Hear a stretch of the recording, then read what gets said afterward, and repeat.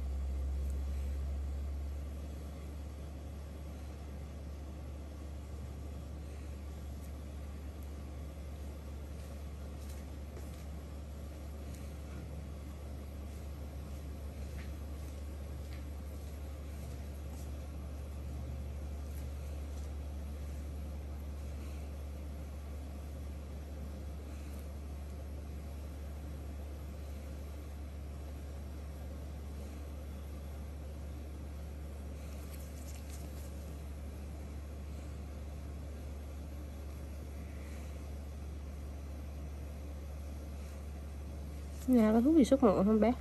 Dạ. Ở nhà em có thuốc gì xuất muộn hả?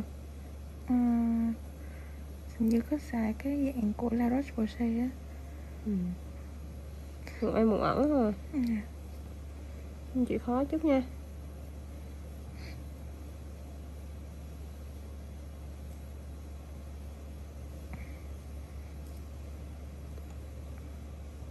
Này để lâu ừ, thêm thời gian nữa nó bị viêm nó, nó dễ để lại sẹo sẹo rỗ lắm đấy yeah. Dạ.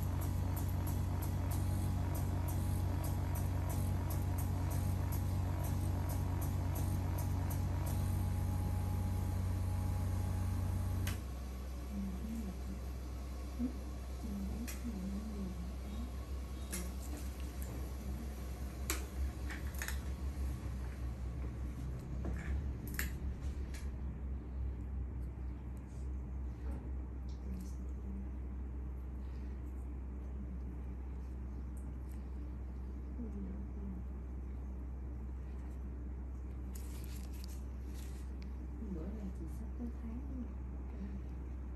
cái tuần tháng rồi tới đi Ừ, nói gì tới tháng rồi. Ừ.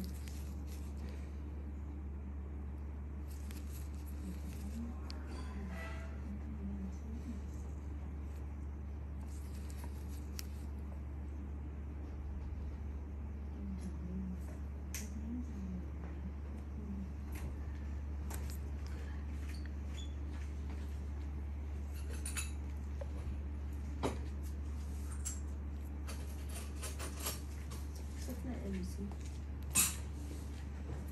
mua, mua lấy đồ vô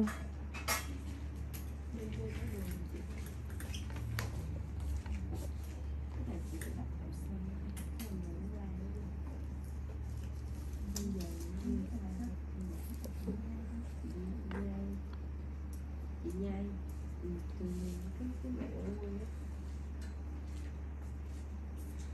chị nhai cho nó nhuyễn lại xong bắt cho nó khô cái thời cụ sữa nó để em đi để em bắt được rồi nó chị nhai thôi